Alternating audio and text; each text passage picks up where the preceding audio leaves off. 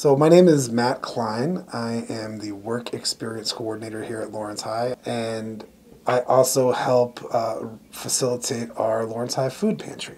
So, the food pantry is located in between the West Gym and the main gym. Who's it available for? Anyone.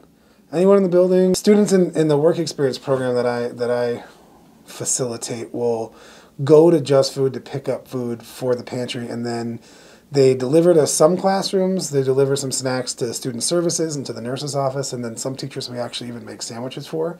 So those are different ways that you can get it. So there's just a, a little sign-in sheet that just asks for the date, your initials, and the number of people in your household. Yeah, and again, it's welcome. If anybody needs it, go check in with a, a teacher or a mental health team member.